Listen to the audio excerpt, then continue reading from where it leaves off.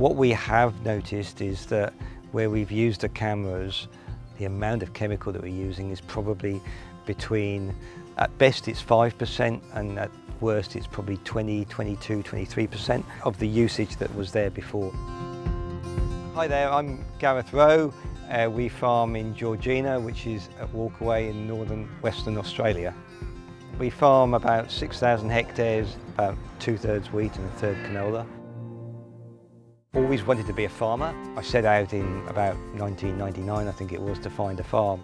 Took two or three years to do that, and then bought this farm, which is Georgina Farms. I was living in the UK, eventually moved here permanently.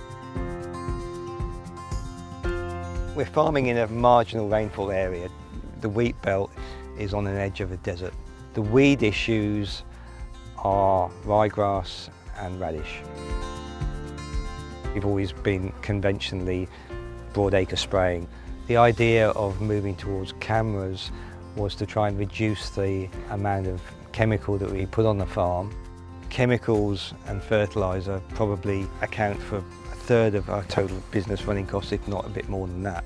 The logic of reducing the chemical input by spraying with cameras is a much, much more sensible way of going.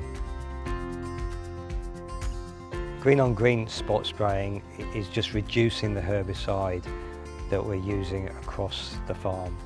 Any herbicide, whether the crop is tolerant to it or not, is effectively a poison. I'm quite sure that not actually having to spray a herbicide on a crop is going to be beneficial to the whole plant. Chemical resistance is something you've always got to be worried about.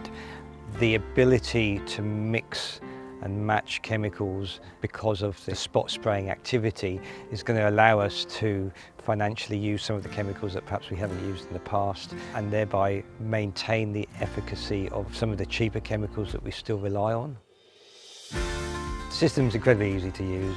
When you're sitting in the sprayer and driving it and the cameras are uh, switching on the nozzles like by magic. It's a fantastic feeling. You then have this period when you wonder whether it's actually going to work. To go back and actually see how effective it's been is a, a really good, uh, positive feeling. The sprayer leaves in the morning, goes spraying all day long. It doesn't have to stop, uh, it doesn't have to get refilled the work rate increases dramatically, which allows us to be more particular about when we go spraying and it also reduces the amount of labour we need in order to do that job.